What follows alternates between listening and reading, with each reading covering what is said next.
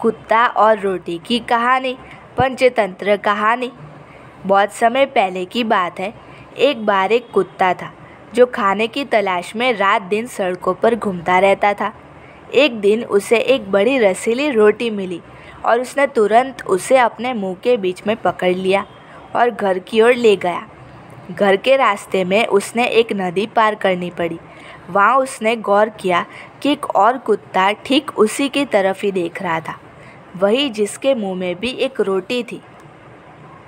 पे इस कुत्ते के मन में लालच उत्पन्न हुई और वह उस रोटी को अपने लिए चाहने लगा। लेकिन जैसे ही उसने अपना मुँह खोला, जिस रोटी को वह काट रहा था, वह नदी में गिर गई और डूब गई।